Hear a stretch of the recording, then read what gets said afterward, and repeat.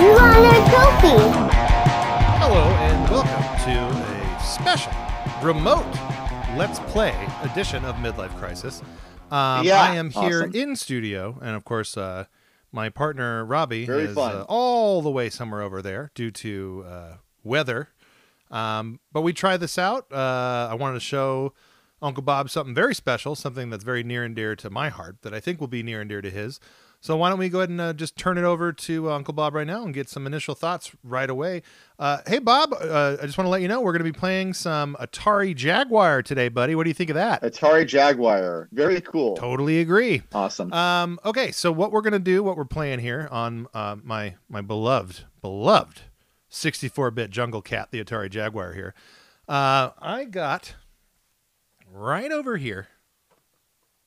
This is a brand new, brand stinking new Very fun. Atari Jaguar game. Awesome. Let me get this without the reflection there.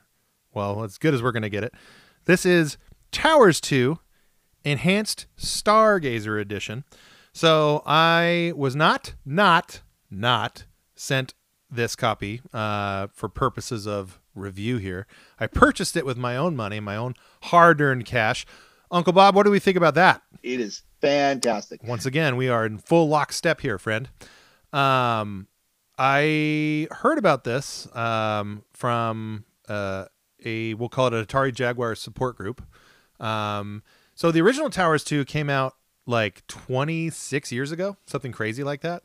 Uh, and what's so cool about this is the original team that made it uh, got back together 26 years later and decided to uh, make it a better game. Uh, and not just like, uh, you know, fi- little fixes here and there. Like they redid the entire game pretty much. There's new textures, there's new lighting stuff. Um, to me, it's like really epitomizes a labor of love, uh, and it's really really cool. Um, Uncle Bob, what do you think about that? This is awesome. Wow. Absolutely. Um, so what we're gonna do without any uh, further delay, whoops a poopsie, is uh, turn this bad boy on. So what I'm gonna do here, uh, and we're gonna play a little bit. So let's just start doing that. Robby, do we have do we have your permission? What do you think about that? Yeah, yeah. Love it. Okay, so I am going to do this. And then I'm going to do this. And then you're going to see me right here in the bottom left hand corner of your screen. so it is not every day that a uh, enhanced Jaguar game gets uh, released. Uh, but let me tell you, something like that happens, I'm going to be uh, a part of it. Uh, Songbird Productions is who put this out. They've been making Atari Jaguar and Atari Lynx games for many, many, many years. JV Games is the developer the of the original one and this one. So here we go. Now check this shit out. Robby, uh, coming up here. Coming up here right after this deal. I'm not going to skip anything because I don't want to miss it. What do you think of that, Robby? This is mind blowing. Exactly. That's a little CG cutscene on an Atari Jaguar cartridge. Uh, not even the Jaguar CD. Uh, really, really, really cool. So uh, I'm gonna go ahead and continue. Um, so right here you see cartridge load. This is one of the first of many enhancements in the enhanced Stargazer edition. These uh, saves in the original Towers 2 for Atari Jaguar didn't save shit.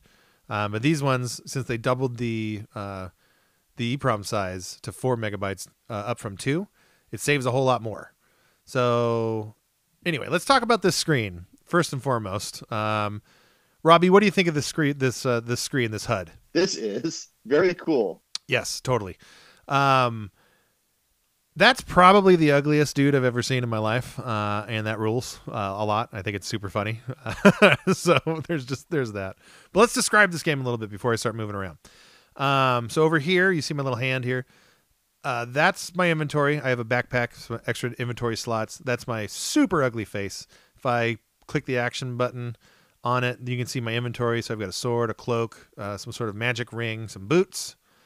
Um, if I push the option button, it's going to remove this HUD, and then we can be in the mix. So I've got some some fell enemies. Um, yep, here we go. So this game is like one of those first person, uh, very D and D inspired uh, hack and slash role playing games. Oh boy, I'm oh god, I'm being accosted. Robby, what do you think? Oh my god. Wow. thank you for your support as always. Um, so these dudes are going to kill me, and I can get away. Go go go go. Yes. Okay. So uh, I got to get out of here. Um, this is a dangerous spot for me to be in. I need to run away and sleep so that I can gain all my health back. Uh, let's see if I can do that here. Yes, thank God. Okay. So, yeah, that's how you gain your health back. You get away from a dangerous area and then you sleep. But you can't sleep unless you are fed and you find food throughout the game. Uh, Robby, what do you think about food? Mind blowing. That's cool. Um,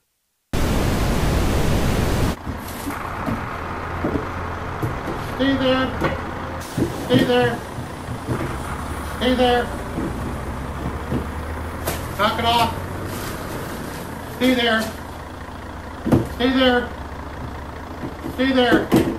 Stay there.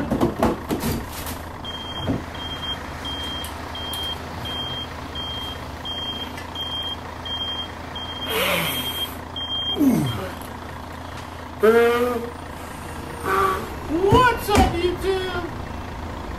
It's your boy, back with another laziness review. So, I still have an hour. Things are going bang up. Knocking these reviews down. Pretty uh, soon I'm going to be knocking the dirt down. Right back there in this facility. I have been for the hour. I've got about uh, 12 minutes left to go.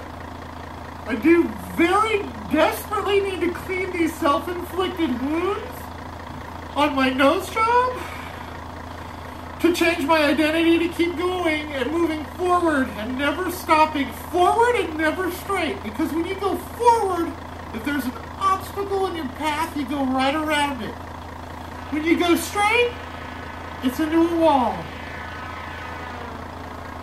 Write it down. So, um, back with another Laserdisc review, and we're here with something truly special, something truly outside of what we've been doing here on the channel, okay? So if you just follow my lead a little bit, you- you'll, I think you'll really get into this and you'll really appreciate what I've been doing this whole fucking time, which is talking about badass movies Right? So, what do we got right here for you all out there is a special one. It is a masterpiece. If you're a horror fan, a horror aficionado like myself, you'll fully understand that this is a treasure that belongs in a museum. Right? And luckily for all of you out there, it does belong in a museum. My museum, amongst my collection, as you can see. But what makes this copy of Halloween so special is that it is completely sealed, right? It has never breathed its own breath of oxygen, right? So that's what we're gonna do on the channel here. We're gonna let it breathe for the first time, and we can all enjoy that experience together, and then we can probably put together a small review, not about the picture, because as you well know, and I would never insult your intelligence, this is sealed. So I have not watched this, obviously. So, without any further ado, let's get right into it. So this is, I want to, want to share this with you very quickly. This is a super badass dragon knife, right? And I found that in the parking lot right out there at this Flying J somewhere in Kern County, which I'm not going to disclose exactly where that is. Let's get right to it. Quick little message to my roommate. Try it. Okay, so I don't want to damage anything on the sleeve here. Um, let's go super slow. My hand-eye coordination is a little tampered with. Here we go. All right. Ow. Oh. Wow. Shit. Shit. Oh. Okay. Oh, this. Oh, fuck. So. Oh. Okay. I gotta do. Oh, quickly. Uh, um, this review is for that experience that we just all shared together. It was a hundred thousand out of ten. I will dock it. Uh, ten thousand, so it's ninety thousand out of ten on account of the cuts that I uh, now desperately need to deal with. So I'm gonna wrap up this Laserdisc review for the community out there. Love you all very much. I need to jump into this facility right behind me and take care of all my wounds. So, uh, please, like and subscribe, and we'll continue this service for all of you and for me, and uh, especially um, for the community. You. All right. If I push the Z button here, uh, oh, I, whoops, wrong button. Sorry. Okay, here's our map. So I've fleshed out a lot of this. This is the first level of many levels, hence towers. Um, but this is a new feature to this version too. Uh, this map is very much improved. The original uh, kind of stinks, um, but that's a big improvement. And I am gonna get out of here because I need to start climbing up. Uh, let's check in with Uncle Bob. Um, Uncle Bob, as we know, ooh, oh God, combat. Hold on, stand by, Uncle Bob. Sit Yeah. down. Let me get rid of this guy safely and effectively. Okay, he's running away. I'm going to take that. Uh, Uncle Bob, why don't you chime in? Uh, give me some perspective on Towers 2. What are you thinking so far? Awesome. Can't believe what I'm seeing here. Atari Jaguar. Yep. Um, no, I I totally agree with you. And uh, I mean, like like me, you're a, you're a just a dyed in the wool Atari Jaguar fan, Yeah. so you get it, you understand. Um, let's see here. So, believe it or not, the frame rate has also been improved. Um, I'm not going to sit here and, and, and say this is the smoothest thing in town, but you got to understand this is on a 1993 released system. So, uh, if given the if you look at the context for it, it's still pretty impressive. If you, if you do, if I do say so myself. Um, okay, so I believe I've collected everything in this floor. I believe. Let me bring up that map again. Uh, oh, I need to go northwest. Let's go northwest from here. Whoops. Okay. Oh, different floor there. So, uh, yeah, I love this kind of stuff. Um, and the Jaguar is full of it. Um, homebrew releases. Uh, in addition to Songbird Productions, which uh, they have an online store, free free plug, guys. I'm a fan. Um, you can go to places like Atari Age. They have a store as well. Now, Atari Age has been on the internet for a super long time, and was recently acquired by Atari. So imagine that. Atari is in the is in the Atari business, and them buying Atari Age, I think is pretty neat. Um, let's check in with Uncle Bob. Um, what are you thinking about Towers Two now that we're a little bit in, in, into the marsh here, uh, Uncle Bob? Brian, your taste in games is so cool. Right. No, definitely. Um, I would like to get out of this area now. Um, let's go this way. Because I think what I was supposed to get in here, I've gotten everything um, that I needed. So if I pop, okay, I need to head south. Handy dandy compass right in the top right of the screen. Um, I don't have the music. Oh, I feel hungry. Here, uh, what I was going to say is I don't have the music turned up right now, which is fine. Um, you know, it is what it is. I can uh, I can bop it up a little bit though. We can see it. We can see how that goes. Let's go ahead and do this. All right, we got a little bit, got a little bit of music coming through there. All right, just consult that map again. So th- I believe that's the yes. So let's go out this gold door. Aha. I need to but first and foremost, I need to eat some floor cheese that I found. And this rules. Uh, you take food from your inventory, you put it on this ugly person's face, and you and you feed him that way. Uh, what did you think of that, Uncle Bob? Very cool. Exactly. Um, okay, so let's get out of that screen, and now, oops, let me back out of here. What I need to do is select this gold key, and then on the door. The door is now unlocked. Tremendous. So here we go. Onwards through the Towers 2 experience. So, um, I'll talk a little bit more about Jaguar Homebrew. Um, it's been around a really, really, really long time. Uh, and that's, to me, one of the coolest things about it. I, I We did an episode a long time ago where I played uh, Jaguar with Uncle Bob. It was his first time. Um, and I talked a little bit about there. But yeah, people have been making Jaguar games for a super long time. Hi there. Oh, that's a feature. That's a new one. The, uh, this game, they added a bunch of voice from the PC version. Let's try this again. Hi there. Hi there. See? What a nice fella. Okay, so let's go ahead and check in with Uncle Bob one more time. Uh, now, really, look, Robby, I don't want you to hold anything back here. I want your full and honest opinion about Towers 2 for Jaguar. Just go. Unleashed. Oh my god, this game is very cool, very fun. Yeah. Okay. I mean, you heard it there. You heard it there, gang. Um, and to be honest with you, I totally agree.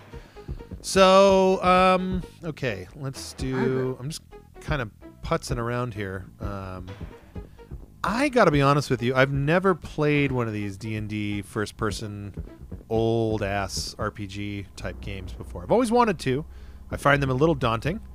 Um, but because I bought this game and it was a hundred dollars, I'm going to force myself to to continue this journey because uh, I am nothing else but a man who respects the dollar. Okay, um, no, that's where we came from. I need to go west and south. There should be a passage here. We're going to go up into another level, and we're going to check that out, and then we'll go ahead and uh, wrap it up from there. Get some closing comments from Uncle Bob, of course. So here we go. That is not where I wanted to go. Consult the map. Ah, it's the other, the opposite end of the hallway here. So yeah, this um, I don't know. I'm just really like enamored with the fact that people who made this game 26 years ago got back together and decided to, to finish the job. Um, it's an extremely limited game. I believe there's only 250 of what they call the first run. Um, and I'm very happy and fortunate to have gotten in on that. Okay, so there we go. There's stairs up. Let's go up a level. Yeah, the save system in this is really, really forgiving. So, like, you can, uh, and the original Towers 2 wasn't so, uh, wasn't so easy like this. But you basically can stick and poke, run away, go hide, heal, and then keep going, and like take your time and climb up the tower. I think I need to go this way. So yeah, the character I'm playing with right now is like a like a melee guy, you know, no spells or anything like that. Um, so okay, let's go in here and look around a little bit, and we'll check check the map one more time. And I think we'll close this out by me me eating a piece of bread. Oh, after I stab it, obviously. All right, so let's put the key away. Don't need that. I I would love to play this with a mouse. I'll just say that. And but no, I'm not. I'm not going to say that. I love playing with the Atari Jaguar controller because I'm a creep, and for whatever reason, I my brain is broken, and I love the Jaguar. Um, okay. Anyway, this is Towers 2. It's a brand new release from Songbird Productions. Uh, it's it's as cool as sliced bread to me. Um, but what really matters is getting that final take, that final word from our very own Uncle Bob Bear. Uncle Bob, jump in here. I want to hear your your final and full analysis of Towers 2 for the Atari Jaguar, released in 2023. Brian, your tasting games is so cool. Yes. This is mind blowing. Oh, totally. Yes. Very fun. It is fantastic. Well, you heard it here, folks. This is uh, going to be uh, the wrap up here. Um, Towers 2, available now uh, in limited quali- quantity.